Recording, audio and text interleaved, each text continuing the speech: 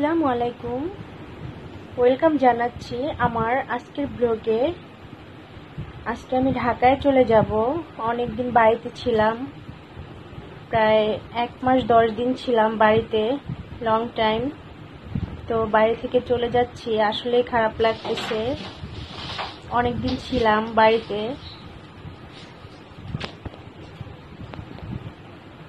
আমার ছোট ভাইয়ের মেয়ে ঘুমাচ্ছে। অনেক সকালবেলা, এখন সকাল ছয়টা।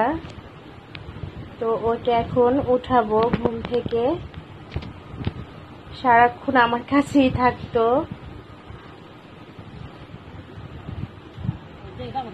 তো বাসা থেকে বের হয়ে গেছি আর একটা ভ্যান নিয়ে নিলাম বাস স্টেশনে যাওয়ার জন্য। সবাই আগায় দেওয়ার জন্য আসছে আমাদের বাসটা ছেড়ে দিছে। আর আমি আর আমার মেয়ে যাচ্ছি ঢাকায়।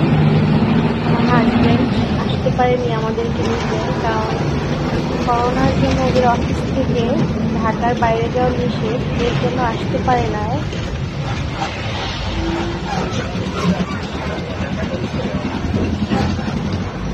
সাকুরা বাস এটা।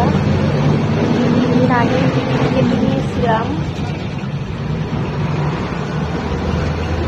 আমার বড় ভাইয়া বড় ভাবি এসে গাড়িতে উঠিয়ে দিয়ে গেছে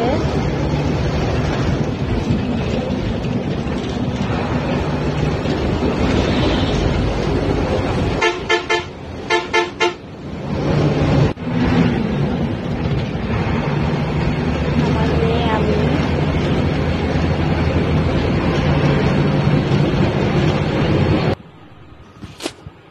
আমরা এখন ফেরিতে, নদীর মাঝখানে আছি।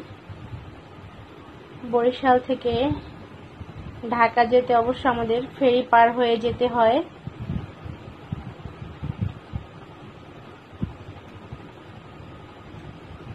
পুরো নদীর মাঝখানে আমাদের ফেরিটা এখন।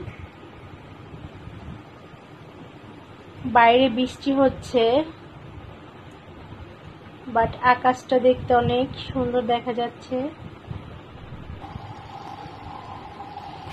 খুবই সুন্দর দৃশ্য। বাইরে ভালোই বৃষ্টি হচ্ছে।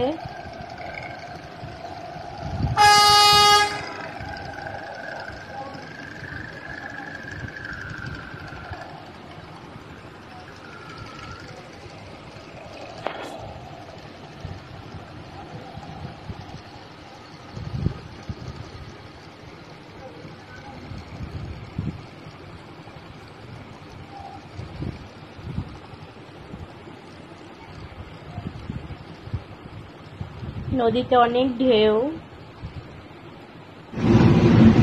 আমরা ফেরি পার হয়ে এই পারে চলে আসছি। আর আমার হাজবেন্ড আসবে আমাদেরকে নিতে। ডাবতলিতে আসবে।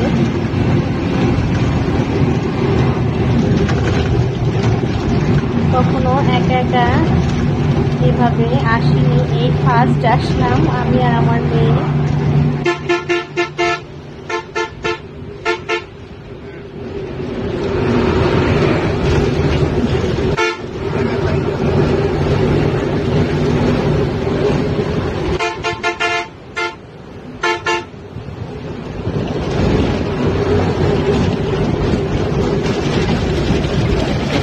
গাড়ির জার্নি করতে আসলে এতটা খারাপ লাগে না, ভালোই লাগে।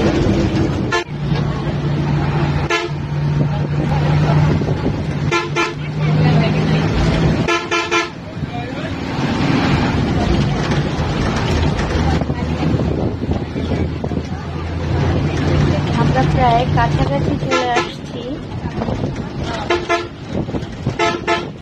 আমরা বাসায় চলে আসলাম, আর আমার মা আমার হাজবেন্ডের জন্য এইগুলা দিয়ে দিয়েছে।